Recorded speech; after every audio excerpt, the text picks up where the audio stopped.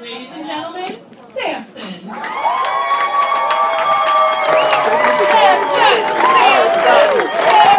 Stop it.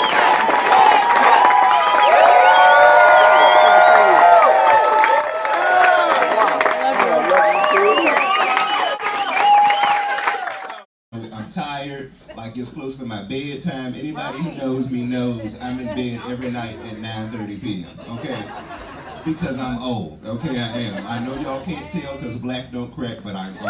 Okay, y'all can't tell, but I'm 65. I am. I'm holding it together. Shea butter and Jesus.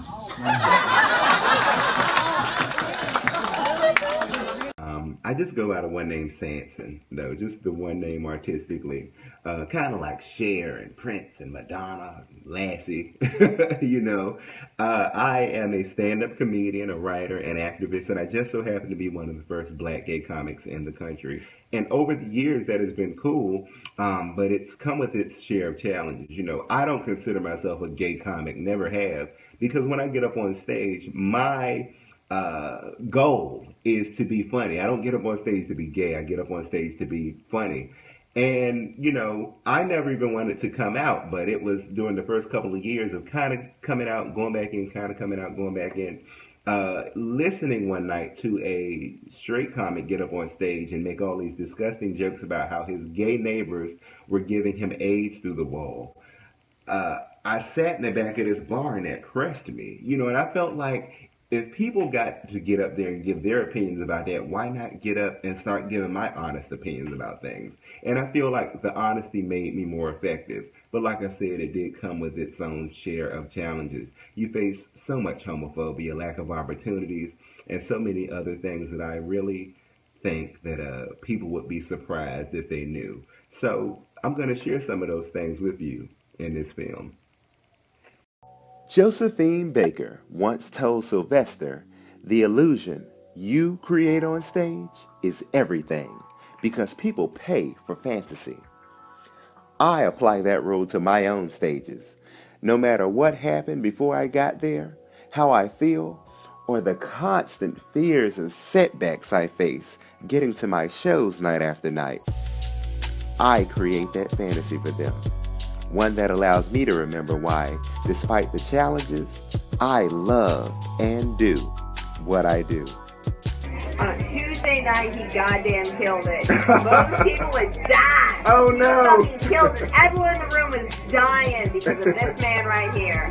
Nobody can rock the punchline like this man here. Oh. You have the time, you have the dime, you come see this man. Oh, thank you, boo. The escape belongs to me too. After the laughter and the applause, the reality that I face in order to be the artist that people see on stage is far from a fantasy. Saved message. Due for automatic deletion. Alright, man. We got your material, man. We'll get, man. We talk about pussy up in this club, man. I don't know about all that fag shit, man. Uh, you don't want to cause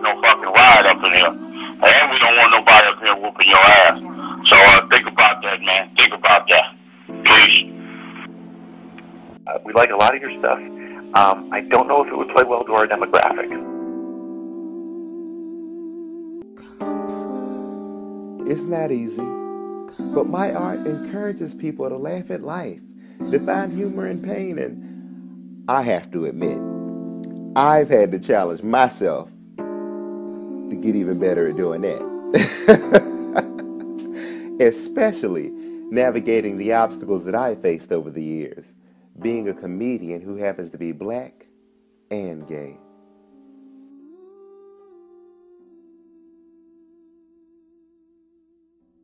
So really, Sampson, the need for more gay comics.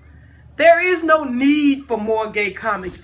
The need is more people who are gay need to come out the closet. There's a whole bunch of gay comics out here. They just don't come the hell out. They need to peel back them layers of blockage and recognize and come to terms with who the fuck they are. I've been doing comedy a long time. They need to tell the truth. The society needs to embrace and accept people for who the fuck they are. It ain't no need for no more gay comics. There's a whole bunch of them little gay fuckers out there. They need to come the hell out the closet. That's all. That is it. No, and it is hard, okay? Because a lot of people think, you know, you choose to be gay, you don't choose to be gay, okay? You, because I'm black and gay, you don't make that shit up, okay? Okay? That's like two stereotypes I got to live up to, okay? Like, I got to roll a good blunt without breaking a nail, okay? Really fucked up, and they don't tell you this before you come out, is that as a black gay artist, you come across opposition from both sides. You have the Hollywood side, which is basically white men, telling you you can either play a thug or you can play a screaming queen who is a hairdresser or a stylist who has purses, clutch purses flying out of his mouth every time he speaks, or you can be the hyper masculine black man who, uh, you know, got guns, six pack washboard abs. There's nothing in between. You can't be a sensitive, emotional black man. You can either be a screaming queen or 50 Cent. Then you deal with black filmmakers, and you black filmmakers don't know what to do with us at all.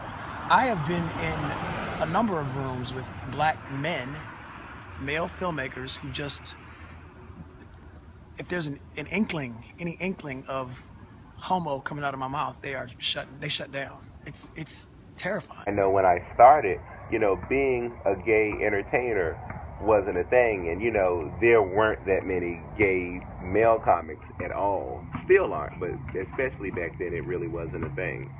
And I know I would go to some clubs, and you know, when I would come out, you know, they would throw bottles at me in the parking lot, or you know, there have been some occasions where the audience you know, was so hostile that I feared my safety.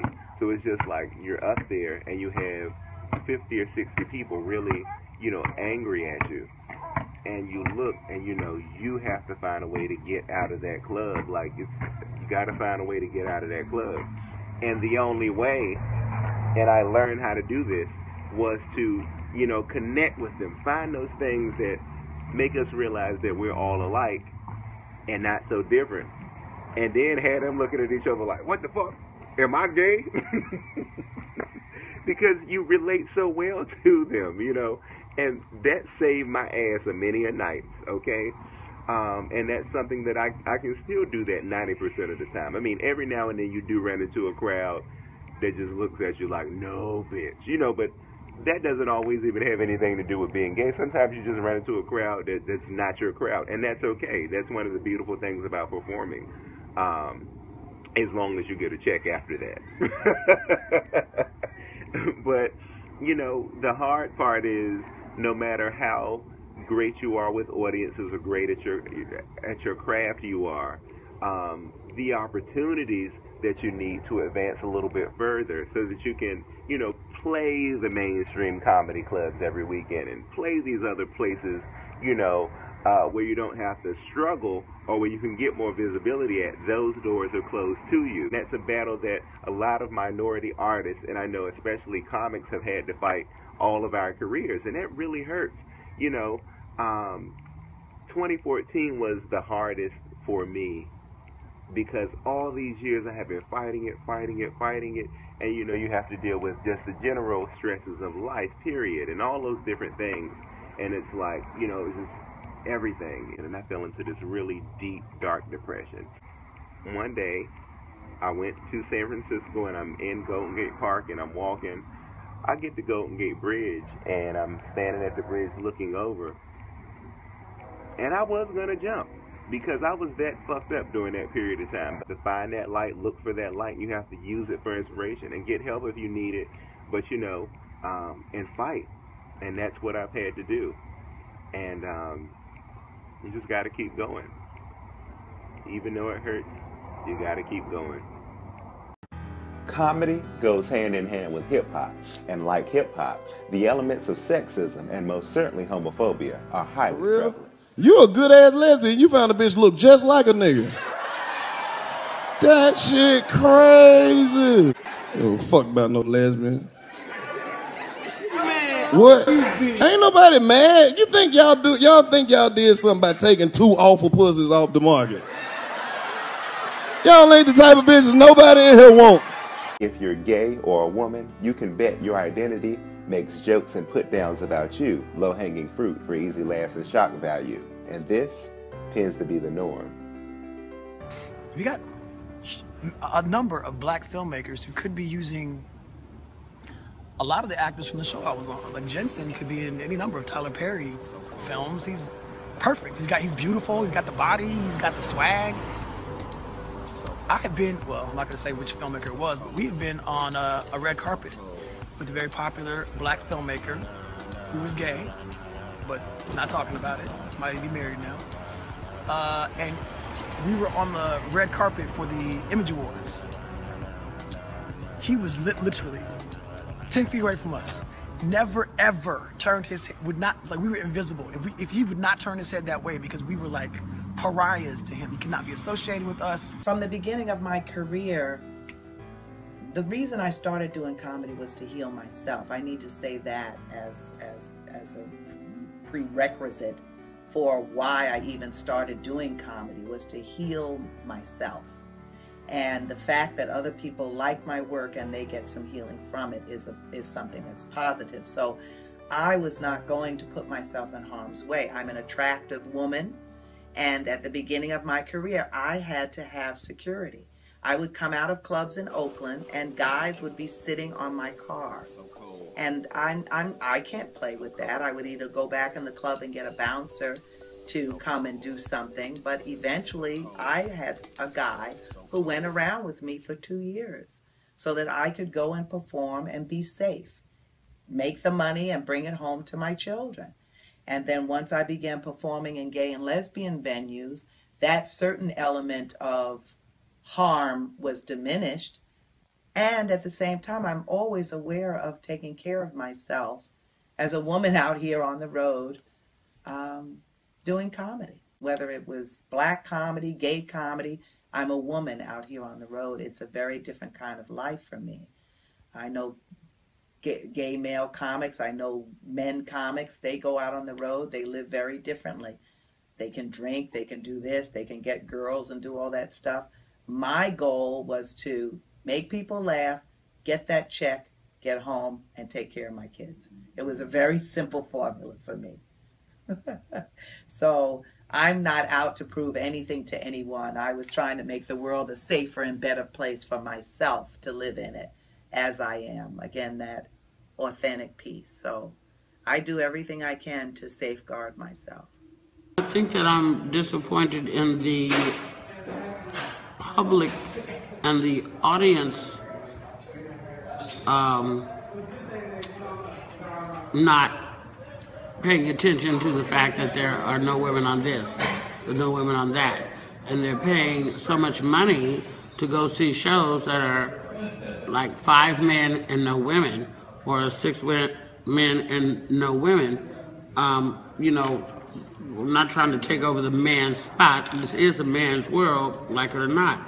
But there always, in every situation, should be a woman to represent for the people who are spending the most money because the people who are spending the most money in every market is women. Somebody needs to stand up and say something, um, you know, because if you don't, then we're never going to be able to progress. You know, uh, there's tours going on, there's shows going on, there's concerts going on. Well, there's not one woman represented. And we're not trying to, you know, raise hell. We just want to be represented. We just want to have somebody to speak for us. The, the lack of diversity in um, comedy and acting and film and television for women, black, all minorities, Asian, Latina, you know, gay, butch, straight, everything is grossly, um, you know, unrepresented. Uh, I may not be saying it right, right now, but you know what the fuck I mean. You start to have these conversations and people accuse you of being politically correct. I'm not politically correct at all. You know, anybody who sat on my sofa with me late at night or going out drinking with me, you know, after a couple of drinks and listened to some of the jokes that I crack and conversations that I have, know that I'm far from politically correct, you know, and I'm a stand-up comic. You know, over the years, this has changed. You know, there was a time where, you know, people would come out and see you and they knew they were coming to a comedy show. Now I can get on stage and I can do a joke about, you know, rainbows and bunny rabbits and somebody's still going to come corner me after the show and go, oh, well, you talked about bunny rabbits and puppies and, you know, you talked about uh, golden retrievers, but you left out Rottweilers, and that's dog discrimination. I'm going to go write some slam poetry about you. And I'm like, well, bitch, get your pen and pad and be inspired. it seems like people would know, like, if you don't like a certain type of comedy, like if you want squeaky clean, then go see Bill Cosby. Well,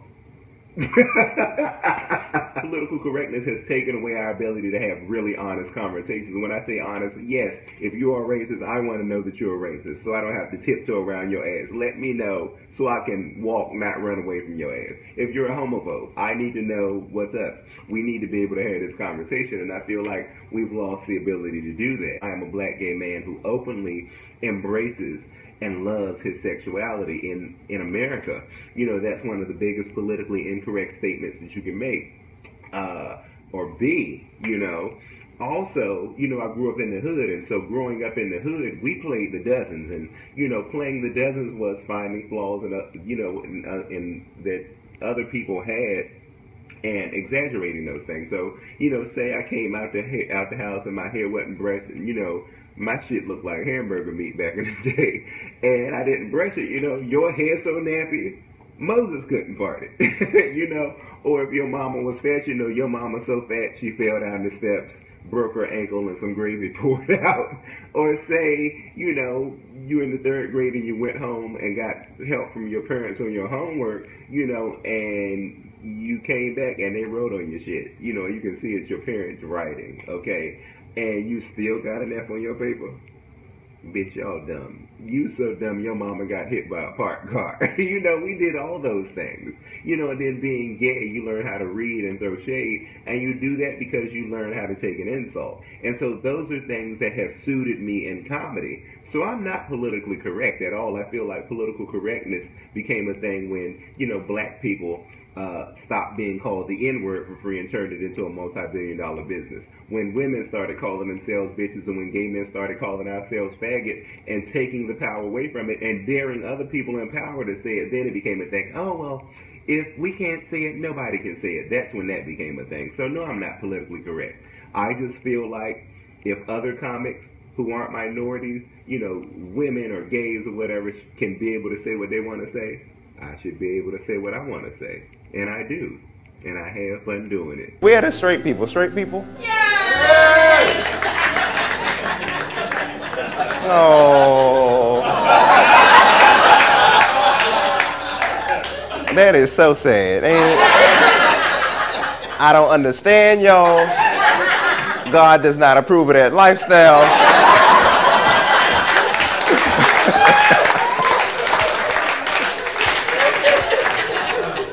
I don't understand it, but I'll support it, you know. Were y'all born straight? No, I'm just playing. Okay. I've been doing gay comedy since 1977. You can tell by my face.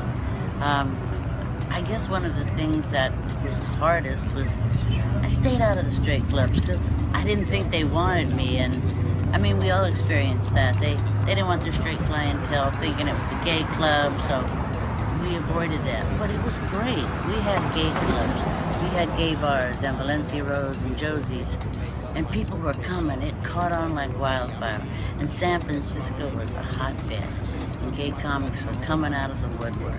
It was an amazing time. Uh, I think the hardest thing was when I couldn't say what I wanted to say. Don't tell me not to say what I want to say. I went to Travis Air Force Base and they asked me to sign a contract. I couldn't put down the government. I, I couldn't say a dirty word, and I did the show, but, and I got nothing against the military, but I still hate it when people say, no, your voice is not welcome. You can talk about your mom, you can talk about your shoes, you can, but don't talk about being a lesbian and, and eating pussy. Let's just put it that way. So, the deal is young people have to be able to say what they need to say. All of them. And they have to be able to speak honestly. And to me, that's what comedy is about. Each of us. I speak my heart. Now, if I'm going to talk about my personal life, I'm going to talk about lesbianism. Uh, if I want to pretend I'm in the closet like I had to in Pocatello, Idaho, well, I'm not going to pretend I have six kids and a husband. So I had to change all the pronouns and this and that, and I just don't do that anymore. I can't. That's not who I am, and I don't want any other comedian to compromise. If fame and fortune is, is what you want, and you want to compromise who you are, that's your business. But no, we're all fine exactly as we are. to be more opportunities. That's what the whole thing. So I guess what we have to do is just start writing more movies and putting more people in movies and doing our own projects. Because you saw the Oscars, right? There was like how many of us? Oh, oh none. So no diversity. I don't even use that word no more. It's called where all the Negroes at. That's what I do think. Where all the Negroes at, and that should be the new program. I'm Asian. And like my sister, she keeps moving like more family. Like her house is like kind of like the Underground Railroad Independence, right? So it's like it kind of is. Come on, you can get a job. The stage, that's the glamorous part. The real work is the challenge of finding and creating spaces and opportunities for people like me, working to open some doors and to build some. And that alone can be exhausting because I'm not a lesbian. I mean, it can really be emotionally challenging enduring the rejection and working through having limited resources and sometimes income and support. It's enough to question whether or not it's worth it. But I don't have a choice. First of all, Fox News, they're completely against the entire liberal agenda. And when I say liberal agenda, I mean basic shit like women having vaginas and black people being free, that type of shit, okay? It's about creating great comedy, great art, and telling the truth. And nobody can face opposition and challenges solely in their own strength. I have God, my faith, the jokes, and most of all, people who love my work. And they're gay, straight, trans, black, white, and they're all out in that audience laughing every night. And that's the beautiful thing about laughter. It crosses all boundaries. This is what I live for rising up to beat the odds and doing it by being funny. And I refuse to quit. And sing.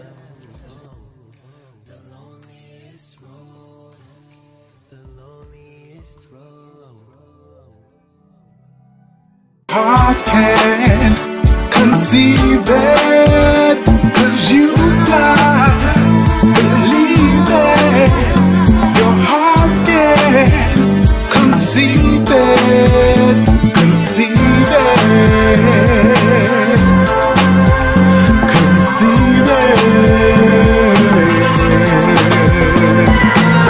feel the joy, pain, the anticipation when hearts break open. So practice patience, slow it down before you speed it up. Build some momentum, blood is gonna rush, tears will fall, and hearts will dance. Remember your rhythm and take a chance. Fly high above your circumstance. See to play, yes you can. You so blind, your heart can't believe it.